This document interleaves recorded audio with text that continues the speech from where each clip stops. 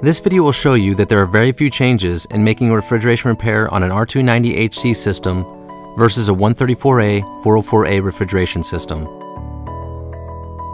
When working on a hydrocarbon R290 system, make sure you're using refrigerant grade R290 propane and not standard propane. Let's first focus on the tools. These are the specialized tools needed to service an HC system. A leak detector designed to detect propane. These are readily available on the market.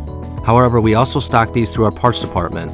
The safety placard, R290 refrigerant, and the optional recovery tank. Next are the tools common to both refrigeration system repairs. And lastly, tools for servicing R134A or 404A, which includes a recovery machine, tank, and 134A 404A refrigerant. The recovery machine and tank are not required for HC repair. Now let's show the differences in making refrigeration repair.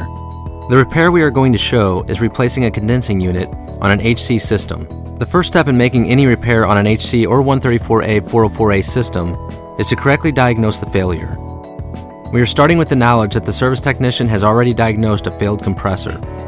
Our HC repair starts with the service technician placing the safety placard in the area he will be making the repair. Then you will turn on the leak detector or gas meter. The next steps to replace the compressor are the same whether you're changing an HC or a 134A 404A compressor. The service technician will install piercing valves to allow access to the refrigeration system. After the valves have been placed on the suction and discharge process tubes on an HC system, the technician can vent the refrigerant directly into the atmosphere. On a 134A 404A system, the technician must recover the refrigerant in the system. Once the refrigerant is out of either system, the technician will cut the compressor pull out right where it brazes into the compressor. If the technician is replacing the condensing unit, as he is in this repair, he will then cut the liquid line as it exits the dryer. If he is replacing the compressor, he will cut the compressor discharge line right as it exits the compressor. Once the compressor has been removed, you will install the replacement compressor.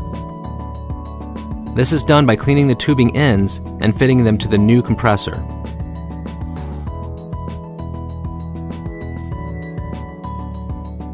The next step on an HC system is to set up the nitrogen tank to circulate oxygen-free dry nitrogen through the system. We recommend you set the nitrogen regulator between 3 to 5 psi and purge nitrogen through the system for a minimum of 2 minutes before you start to braze. We suggest you continue to circulate nitrogen through the system the entire time you are brazing. This is a step that many seasoned service technicians do no matter what type of system they are working on. We set the nitrogen up to start to circulate through the discharge process tube and exhaust out of the suction process port on the compressor. In this video we have a process tube in that does not have a Schrader valve core on it, so we have left the suction gauge hose off the system for the nitrogen to escape. If the fitting had a valve stem, you would have to connect the hose to allow the nitrogen to escape. Once the compressor is brazed into the system, all of the following steps are the same you would take if you were replacing a compressor in a 134A or 404A compressor.